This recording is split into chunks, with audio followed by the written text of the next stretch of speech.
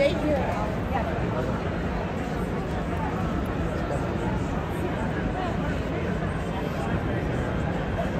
It's not like we don't have our seats already. Exactly. I'm gonna run over there real quick. Do you want anything? You see something you think I want, buy it.